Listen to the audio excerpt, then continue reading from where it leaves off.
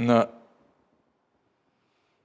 ju keni ndryrë, domethënë, në kamp, për të gjitha argumentat që thamë dhe dhamë, jemi okej, të kalojmë në një moment që është shumë politik. Se ne bëjmë sikur fshehim një moment, jo fshehim, po, kjo është e gjitha, ore, zoti pra, ministër, Irani e sulmoi Shqipërinë, në mënyrë kibernetike.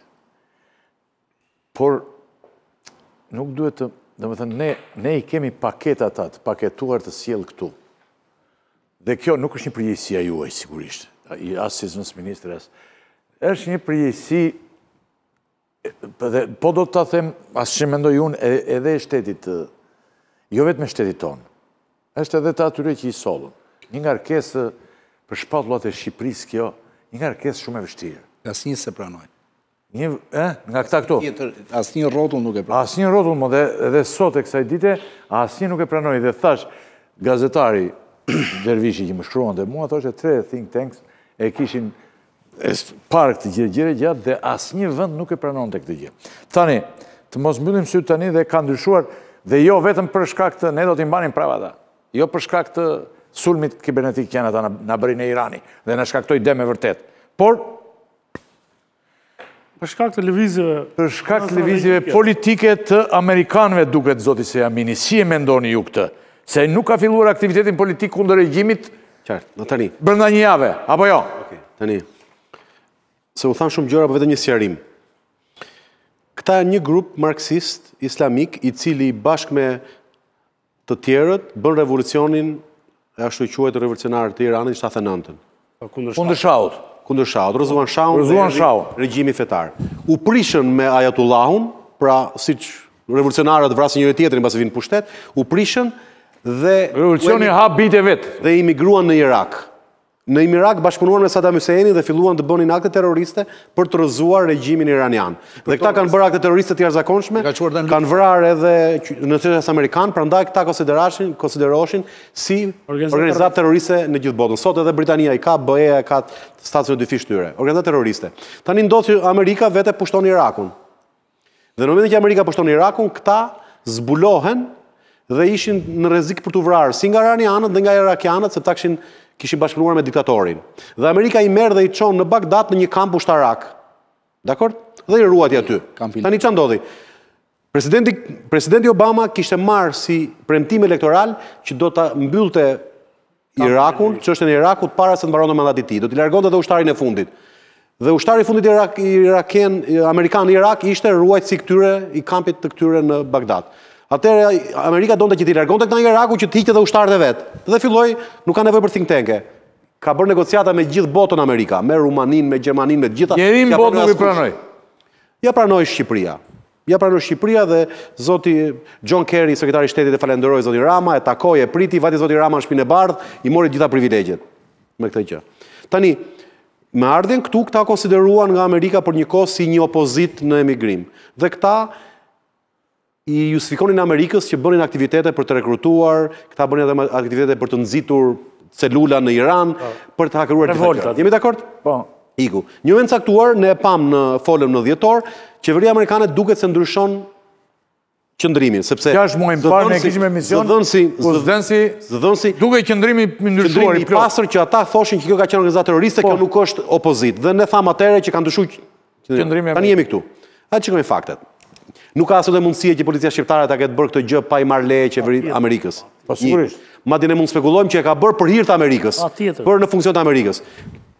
Me gjithë respektin që kam për gjitha vendimet e gjykatave... Po, po, po, të të shpjegoj diçka. Të të shpjegoj diçka nga përvoja jonë me bashkëpunimin që kemi pas me organe ligjzbatuese amerikane shumë të thella që punojnë në Shqipëri. Jo, jo, në rast se do i shkosh, në rast se do i shkosh një autoriteti ligjzbatues që punon në Shqipëri për shkak të misionit të tij diplomatik dhe do i thuash në territorin e Republikës Shqipërisë dhe në atë vend ku ju keni pas interes.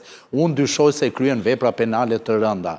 Si mendoni ju? Si mendon ti se do të përgjigjet? Do të thotë mos zbato ligjin e shtetit tënd? Sigurisht që do të thotë zbato ligjin e shtetit tënd. Ka të bëjë dhe qasja se si ia prezanton. Nuk do të hyj te muhabeti, po ata janë akuzuar dhe të shkuar në praktikat e krimit. Ja, ta mbaroj dhe patjetër. Atëherë se jamin në të gjitha informacionet vijnë në ambasadën amerikane. Dhe ai jep lejen e to se to tani. Se jamin. Tani. Unë jam i bindur që ky aksion ka dhe një, ka një vlerë të madhe për t'i treguar Iranit që diçka ka ndryshuar. Edhe Shqipëria, po edhe Shtetet Bashkuara të Amerikës për treguar, mendoj unë, për t'i treguar Iranit që ne nuk e kemi më qëllim rrëzimin e regjimit iranian, që ka qenë qëllimi i politikës të jashtme iraniane, por ka ndryshuar, ne mund të pranojmë Iranin dhe proceset iraniane. Me saktësi unë mund të them këto gjëra. Shiko çka ndodhur gjatë kësaj periudhe, në në gjashtë-shtatë muajt e fundit, themi që nga tetori i vitit të kaluar. Javët e fundit, Irani vendosi marrëdhënie me Egjiptin. Është një arritje e jashtëzakonshme për Iranin dhe Egjiptin, dy kundërshtarë.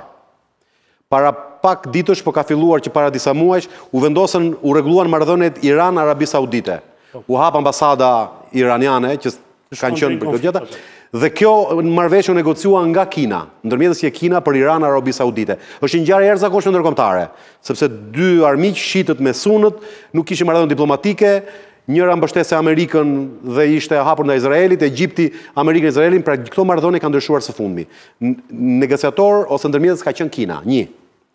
Ka një diskutim prej disa muajsh, edhe pak më herët, që Kina, e cila është Blerësja kryesore e naftës saudite, një të katërt e gjithë naftës saudite e ble Kina, që çmimi i naftës saudite të bëhet në juanin kinez dhe jo në dollarin amerikan.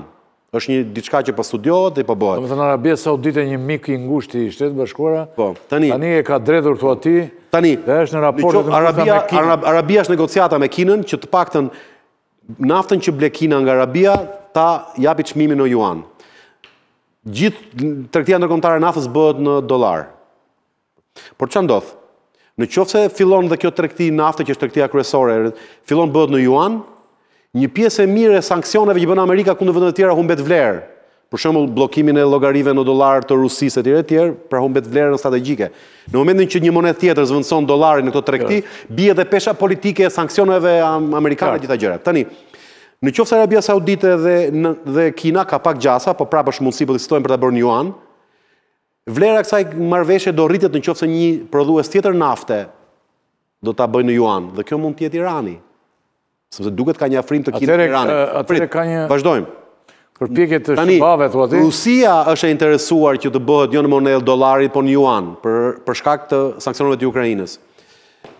Pra, gjithë ato zhvillime gjeostrategjike, ekonomike, gjeostrategjike, kanë ndryshuar një gjë shumë të madhe. Roli SHBA-ve është ulur në këtë rajon, pesha SHBA-ve me Arabi Saudite, me Iran, gjitha gjërat, dhe po krijohet, po krijohet një, një situatë ku Irani po gjen një mbështetje tek Kina dhe tek aktorë të tjerë, që do të thotë zbehet roli i sanksioneve dhe i luftës së Bashkuar të Amerikës. Tani, në këtë lojë, me sa duket, mendoj unë, Eshtë. Amerika, ka dhe një zhvillim tjetër, ka një organizatë që quhet BRIC, ku janë Brazili, Rusia, India dhe Kina, që është si kundrapeshë e G shtatë-s. Po diskutohet që këtu të futet dhe Arabia Saudite me Iranin. Po kjo organizatë ekonomike është dyzet milion, dyzet për qind e gjithë popullsisë botës. Pra, ka ka zhvillime gjeostrategjike. Pra, ça do të thotë? Në këtë kuadër, mendoj, mendimi im që Shtetet e Bashkuara të Amerikës duan që t'i thonë Iranit që Ne e kemi ndryshuar situatën. Nuk jemi kundër. Pra të provojnë diplomacinë. Deri sot ka qenë pjesa e ashpër. Ka pasur një qëndrim të ashpër ndaj Iranit, ka pasur përpjekje për ta rrëzuar regjimin e Iranit, sanksione. Tani me sa duket Shtetet e Bashkuara të Amerikës duan t'i thonë Iranit që ne nuk ne mund të kemi hequr dorë nga rrëzimi i regjimit, ndryshimi i regjimit. Pra mund të ketë pak hapësirë për diplomaci. Dhe për t'i dhënë një shenjë që ne nuk jemi për rrëzimin e regjimit me armë, duan t'i tregojnë që opozita që juve ju lufton këtu, ne s'e mbështesim më. Dhe ka filluar gradualisht një farë tërheqje amerikane. Dhe kjo e fundit fare, pavarësisht nga rrethanat, pavarësisht nga urdhrat e gjykatës edhe këto njoftimet që aty bërë, se nuk e dinte qeveria shqiptare që në fillim që ata atë punë bëjnë. Që kur kanë ardhur këtu me vetëm atë punë merren, gjithkohës. Dhe Nga dita e një. Me sa duket që nga dita e një. E dinë gjithë. Sot vendosi të bëjë kontrollin e ashpër në mënyrë spektakolare dhe pra unë mendoj që kjo është një tërheqje ose një ndryshim i strategjisë amerikane për t'i dhënë një hapësirë diplomacisë me Iranin dhe për këtë gjë për të dhënë një mesazh të qartë ka shfrytëzuar qeverinë shqiptare për të bërë këtë aksion për t'i treguar haptazi në mënyrë publike ndërkombëtare Iranit që ne nuk mbështesim më atë grupim i cili pretendon që është opozita demokratike dhe është opozita kryesore. Kjo duket do përdor. Kjo duket ky duket një moment shumë interesant në këtë pikëpamje, por ndoshta edhe forcat më të besueshme opozitare Siç ka ndodhur rëndom, kjo pjesa që është ngritur kundër regjimit brenda atje, dhe jo njerëz të fshehur në Shqipëri, në një fshat të Shqipërisë. Ka dhe një opcion tjetër që... Që udhëheqësi... Po. Të rrëzojnë regjimin. Po, ka dhe një opcion tjetër atje që udhëheqësi suprem i Iranit është në moshë të madhe, ai mund të zëvendësohet, Mund të ketë një farë liberalizimi nga brenda, pra amerikanët mund të shikojnë që ndoshta nuk kanë nevojë për regjim, por regjimi mund të transformohet gradualisht në një situatë më liberale. Po është e sigurt që pjesa gjeostrategjike, sidomos marrëdhëniet Iran-Arabi Saudite, Iran-Egjipt, edhe një fakt tjetër që harruam ta themi, u takua sekretari i shtetit i SHBA-s me presidentin kinez para pak ditësh dhe mbasi takimi, takimi do të ketë shkuar aq keq sa presidenti Biden e quajti diktator presidentin kinez. Diktator, dje. Pardje. Diktator. Kjo që kjo që tregon që marrëdhëniet. Pas vizitës së sekretarit të shtetit. Që kjo tregon marrëdhëniet. Kjo është e pasur marrëdhëniet Kinë SHBA janë acaruar që thotë roli i Kinës në botë po, po forcohet. Po zoti zëvendësministër po. Kjo mund të jetë një një tjetër qasje. Atëherë më më duhet që të bëj një ndërhyrje tek pjesa e hamendësimit, se nuk duhet që të them spekulim pavarësisht se e njëjta gjë është. Jo, ne përpiqemi, këto janë disa fakte, e kupton. Mund mos jetë dekshur, mund jetë opozita të... Për pjesën e hamendësimit, pra që në mënyrë të padiskutueshme, po citojnë qoftë se kjo është bërë në bashkëpunim dhe me urdhër, madje edhe të Shteteve të Bashkuara.